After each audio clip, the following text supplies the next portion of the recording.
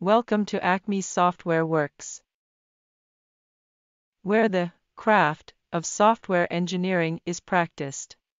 In this video, we will be exploring the merge sort algorithm. The merge sort is efficient sorting algorithm that uses a divide and conquer approach to sort an array of elements.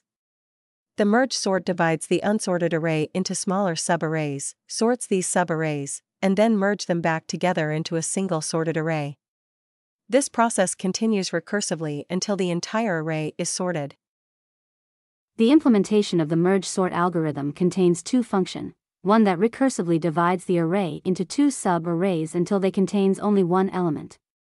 Note a single element is considered sorted by default, then the second function, which is called at the end of the first, merges sub-arrays back into the main array, and then as the first function traverses back up the recursive stack and calls the second function which merges the larger sub-arrays which are now sorted. Though when the first function completely traverses back up the recursive stack all the sub-arrays will merged back to the main array which then will be completely sorted. Now let's watch as this unfolds. The first function, the merge sort, won't call the second function, the merge, until the variable left is equal to right, which makes the size of the subarray 1. By doing this, when the subarrays are merged back to the main array, that portion of the main array will be in sort. And that portion will be a subsequent subarray as the merge sort function traverses back up the stack. The two functions variables are shown here and will be current with the simulation. You will notice that on occasion the index variables will be outside the bounds of the array they're assigned to. In this case the display will indicate this by displaying two red dashes. The merge function is given three arguments which are used to create the subarrays or segments, and once the segments are allocated, they are then populated with elements from the main array, and then the segments are merged back into the main array in place of the elements that had been used to populate the segments.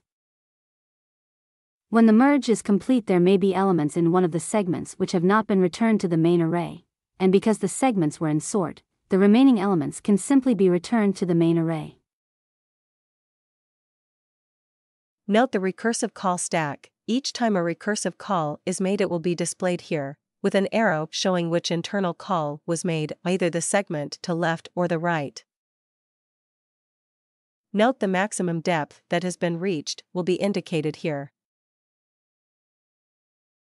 The progress of the segments is shown here, with an arrow indicating whether it's the segment defined by the merge sort or the merge function. You will notice that the segments defined by the merge function will be sorted, while the those defined by the merge sort function are not. The segment's progress is also color-coded. The left segments defined by the merge sort function are magenta while the right are green the left segments defined by the merge function are yellow and the right segments are cyan.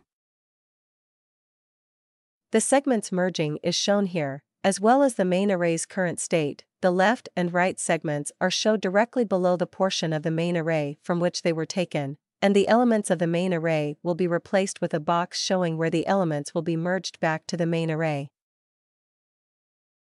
and as the merge is taking place a line showing which two elements are being compared will appear, then an arrow will appear below indicating which element is smaller and will be merged back to the main array.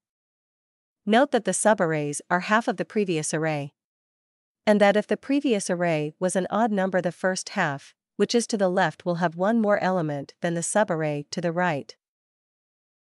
The merge sort's big O is consistently n log n. Now let's speed it up and watch it finish.